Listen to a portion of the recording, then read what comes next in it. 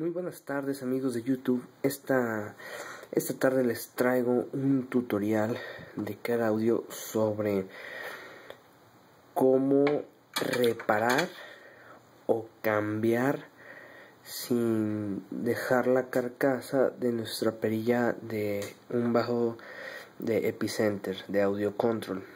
Muchas veces con el tiempo nuestra perilla se desgasta o, o deja de servir, deja de servir por el uso. Yo con este tengo alrededor de cuatro años, todavía funciona, pero por ejemplo, pues si se me llegara a descomponer, es difícil encontrar la original, ya con la marca, su logo y todo, muy difícil, muy difícil encontrarla.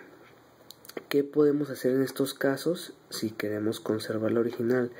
Pues bueno, podemos, tenemos dos soluciones, o repararlo de acá adentro, donde están todos los circuitos, eso yo no lo sé hacer sinceramente, no soy experto de car audio, yo solo les transmito mis conocimientos que he aprendido con el tiempo de esto, como soy un fan del mismo, del audio automotriz, o cambiar este sistema podemos cambiar lo que viene siendo todo esto y así simplemente nos quedamos con nuestro con nuestro pues decirlo así nuestro caparazón de, de o la carcasa del telepicenter porque es muy bonita. Por ejemplo yo aquí tengo una, un otro controlador de bajo genérico de la marca de XR lo acabo de comprar me costó 55 pesos como pueden ver y al sacarlo pues al sacarlo pues podemos ver que no es ni la mitad del tamaño. También tiene un foco led y básicamente funcionan de la misma manera. Pero a mí estéticamente me gusta más audio control que de XR si te puedes fijar pues atrás es casi el mismo sistema. Es casi idéntico no es el mismo pero bueno, en dado caso de que se me descompusiera y quisiera conservarla, ¿qué es lo que puedo hacer? ¿Cómo lo repararía? Pues sencillo, es muy fácil. Compramos primero que nada o conseguimos un controlador de bajos genérico, como este, está nuevo, y reemplazaremos el mecanismo interno. ¿Cómo se hace? Sencillo. Primero que nada jalaremos de la perilla y se liberará el botón por dentro podemos ver que tiene una que enfoque tiene una tuerca aquí tiene una tuerquita que con simplemente unas pinzas de punta o las que prefieran daremos vuelta ya se liberó sigo dando vuelta y solo jalo hacia atrás. El led solo se desprende de aquí y listo. Ya tengo mi carcasa el LED también sale o lo puedo dejar si funciona eso depende.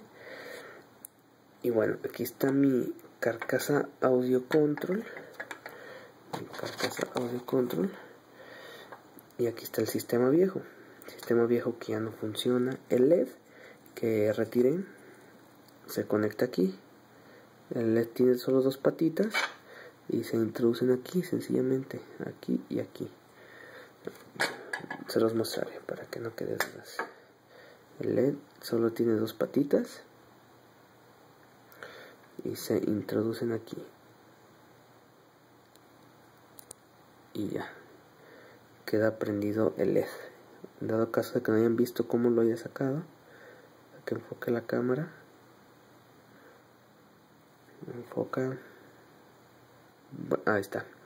Ahí está el led adentro. Bueno sacamos el led el sistema viejo nuestra perilla nos quedamos con esto. Y bueno ahora qué hacemos pues simplemente repetimos el mismo procedimiento con el nuevo. Sacamos la perilla de igual forma la colocamos acá separamos las piezas del epicentro. De igual forma damos vuelta nuestras pinzas esta viene un poco más apretada. Tendré que usar otras pinzas un momento que si viene más apretada pues por los años también. Bueno ya conseguí unas pincitas y bueno con esta sí con esta sí quisieron aflojar. De igual forma damos vuelta damos vuelta y ¿qué creen que pasa? pues exactamente lo mismo ¿no? se zafa y tenemos el led aquí el led lo sacamos y tiene exactamente el mismo mecanismo que el epicenter quitamos la protección y jalamos jalamos jalamos y son dos patitas en el mollito ahora nos pasamos a la carcasa del epicenter metemos nuestra ruedita nueva o nuestra carcasa nueva. Esta trae una protección aquí se me olvidó ponerla. Listo. Mm, ponemos ponemos este el motorcito la perilla no sé cómo decírselos. Y de igual forma apretamos aquí ya. Y apretamos con nuestras pinzas. Apretamos la ruedita seguimos apretando seguimos apretando hasta que quede bien, bien dura listo. Ahora tenemos el cable donde va conectado el led. Si queremos que el led funcione pues únicamente donde está el led audio control. Podemos el led audio control de preferencia si podemos tener silicón le ponemos un poco. E igual de igual forma conectamos la patita más grande es positivo y negativo las patitas de igual forma conectamos conectamos las patitas o podemos usar otro led como quieran. Eso es eso ya depende de cada quien. Solo ponemos el silicón y listo porque ya no ya no el led ya no se quiere lo saco de aquí mejor porque ya no quiere quiere entrar. Lo pongo eh, listo lo pongo pongo, lo pongo, disculpen, disculpen, disculpen, pongo el LED, coloco, esto del LED es lo más difícil, eh, créanme, después de esto ya, ya la hicieron,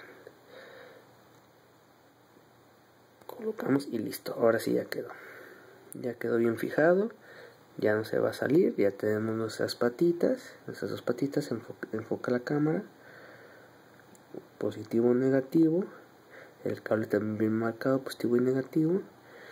Juntamos simplemente las conectamos introducimos listo. Ahora solamente nos toca introducir la perilla audio control y listo. Ya quedó nuestro epicenter o nuestro controlador de bajo reparado. En caso de que se haya descompuesto si nos podemos quedar con la carcasa original y vueltas sin ningún problema y quedó el mecanismo completamente nuevo. Muchas gracias por ver este tutorial. Cualquier cosa, déjenme sus preguntas en la sección de abajo y con gusto se las responderé. Nos vemos la próxima.